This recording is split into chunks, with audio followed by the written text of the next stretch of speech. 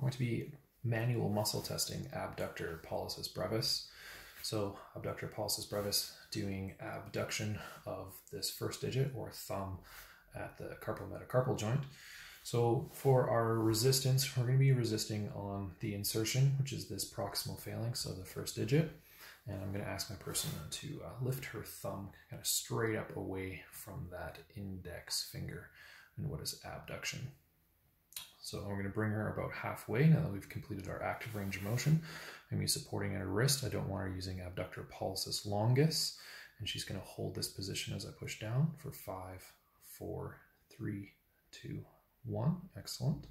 And then starting from a shortened position, and I'm going to get her to win, so she's going to push up against me all the way through. Excellent.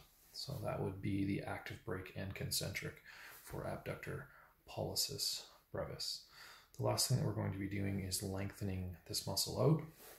A little bit tricky since adduction is into the second, so we're actually going to try to bring the thumb behind the second finger here. I'm going to hold on to your wrist again so we don't include a longer muscle as we adduct and extend in behind here. So that's lengthening from there to there for abductor pollicis brevis.